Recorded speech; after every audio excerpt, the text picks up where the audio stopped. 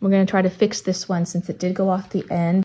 Today we're making cuneiform writing using this book, Ancient Mesopotamia by Live Education. This is a Waldorf curriculum and we are looking at this lesson here. Our supplies for today are this clipboard covered by this plastic bag. You will need something that is like a chopstick that has a square tip. We're going to take some small slices of clay. I've made my own slicing tool here with some wire and two dowels.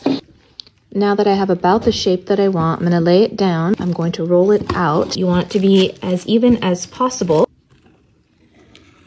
Now I'm just going to remove the excess clay. We're going to start with three short strokes and we're just going to press with one corner into the clay gently. So we're going to do one, two, three, and then we're going to add one more underneath and this is going to be for the sound sh. Then we're going to do three long strokes this way.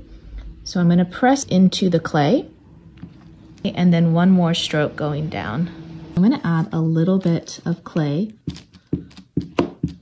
Cutting this down right here. So one, two, one, two, three. Done. And that's heaven and earth.